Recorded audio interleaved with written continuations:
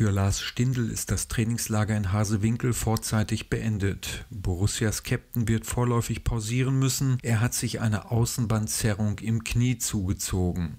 Bereits am Dienstagnachmittag stand Stindl nicht auf dem Trainingsplatz, weil eine MRT-Untersuchung durchgeführt wurde. Der 32-Jährige hatte bereits an den Vortagen mit einer Kniebandage trainiert. Im Testspiel am Samstag gegen den FC Metz wird Stindl nicht mitwirken können.